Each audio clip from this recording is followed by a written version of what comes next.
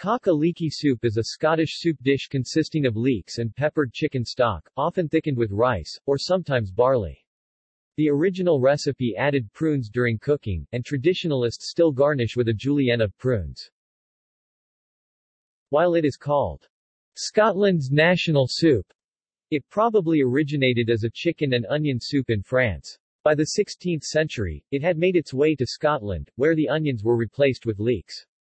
The first recipe was printed in 1598, though the name cock-a-leekie did not come into use until the 18th century. There are vegetarian versions of this soup.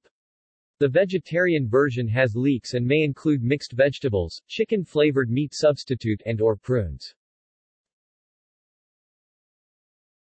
See also